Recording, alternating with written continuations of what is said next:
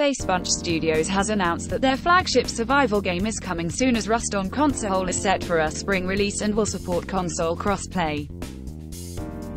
On May 21, PS4 and Xbox One gamers can purchase the title that has seen massive success on PC since 2013. As one of auto 100 other players on the map at the same time, you must gather resources, survive the wild, and either defend yourself or eliminate other players. Starting with nothing, materials must be gathered in order to make clothing, build shelter, and fashion weapons, all of which can be used to survive and hunt animals or others. Difficult enough on its own, Rust is also known for the brutality of its players who, either for fun or for their own survival will usually kill you on sight. For this reason, it is vital that you arm yourself or keep your head down and learn the best times for venturing out in order to gather your own resources. However, as brutal as the game is, you can form alliances with other gamers and you can even build communities and communes where you can live and work together. Eventually, it might come to the point where going it alone isn't an option and you might have to embrace the fact that there is strength in numbers. Reportedly, it has taken so long to port because of the low specs of the PS4 and Xbox One but they have finally done it. It has also been confirmed that the game will support crossplay between consoles but not console to PC. Playing a game such as Rust without experience can be tough and it pays to get some experience in a survival action game.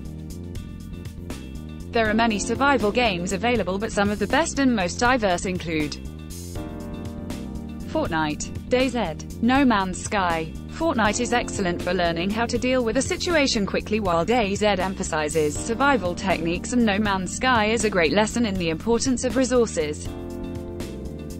Fortnite Focusing on action and teamwork in quick games, Fortnite isn't a long-term survival game but some of the same game mechanics apply. The absolutely massive multiplayer mayhem title from Epic Games is primarily a shooter but survival is key to this game. New players of Fortnite can expect to last seconds after spawning into the map but if you can learn the basics and manage to survive for some time then you will earn some skills for Rust.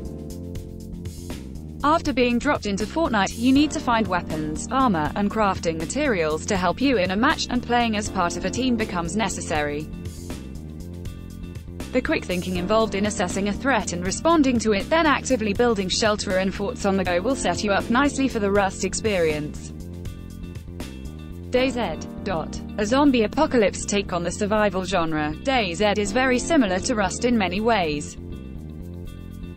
First of all, you need to survive by any means necessary and this includes such things as gathering resources to craft weapons, finding food, and hoarding medical supplies. Like Rust, one of the key factors in DayZ is surviving as part of a faction, which becomes necessary as the game goes on. There are many other players all looking out for themselves and while most will join a community, there are lone wolves. A lone wolf is almost always hostile and learning how to deal with these will sharpen your skills and senses for Rust as you learn how to spot a sniper, observe your surroundings, and set traps. No Man's Sky. When it was launched in 2016, No Man's Sky became an instant joke. Like the recent Cyberpunk 2077 debacle, many features were overpromised and underdelivered which saw the game flop for years. While it looked like it was dead, the developers revived the game in 2019 and it has made a comeback worthy of the final scene in a Rocky movie. While No Man's Sky is a science fiction spacefaring game it has many similar features to Rust. Primarily, one of the game's main focuses, especially at the start, is resource gathering and it is handled very well beginning with nothing and then identifying key areas to explore for specific resources. You will build a small shelter that can eventually become a sprawling base. Even if you don't like sci-fi games, No Man's Sky has the potential to teach you very good techniques for gathering resources and making something from nothing while being very patient. Survival games are becoming an extremely popular genre thanks to TV shows such as The Walking Dead and Rust isn't one of the most intense and realistic experiences available. Given its intensity and difficulty, Rust can be brutal on new players, especially those with no survival game experience. While there are many survival games that can teach you a lot, the games mentioned can provide a solid gameplay experience with valuable lessons.